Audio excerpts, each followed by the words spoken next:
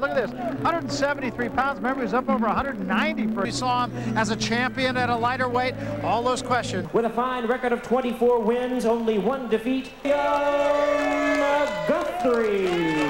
Record stands at 53 wins, four losses. Michael to Nunn. Touch gloves. Good luck. Step back to corners. Stepping off the gas here. Guthrie said, before we get too far, uh, Nunn does not appear to really be hurt. The ropes. Oh, he got hit cleanly there, though. Good right hand. Watch the elbows. Let him go. Let him And go. Guthrie holding now.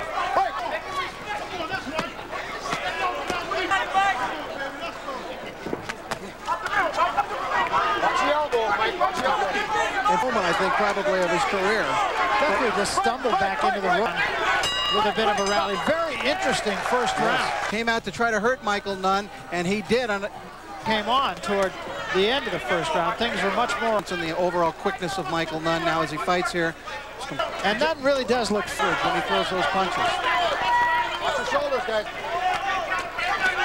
There's a good left hand from Nunn. Another left hand by Nunn. And Nunn again with a combination. The projects there, that it was such a combat zone, they called excellent work by Nunn, and down goes for none here. And Nunn gets right on him, and wisely so. And just trying to hold on. And run like a deer. His legs are just out of it. Absolutely.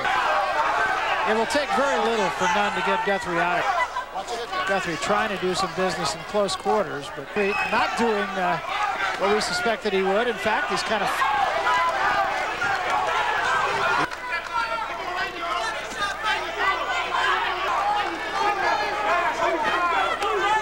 I think he not only got through it, he might have won it. That loud clash of heads that we heard down here, Barry, when they were right above us, into himself. And Nunn threw a lot.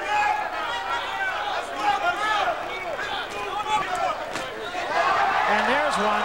He knocked. There's a good right hand by Nunn. Nunn coming fast, but not quite as wild as he was in around prison or a drug dealing charge. To becoming.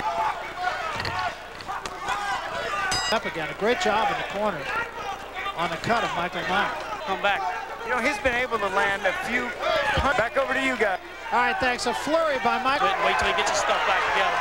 Try to get And head punches, and I think Guthrie's ready to go. From the nose, his face looking jaded at this point. The posture for Guthrie going backwards.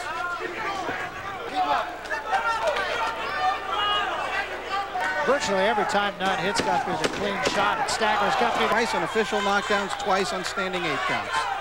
Nunn still has some quickness, able to get out of the way of punches. But uh, so for Guthrie, I mean, It's combination there.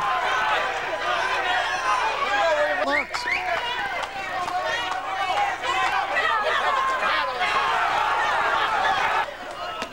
Oh, huge left hand.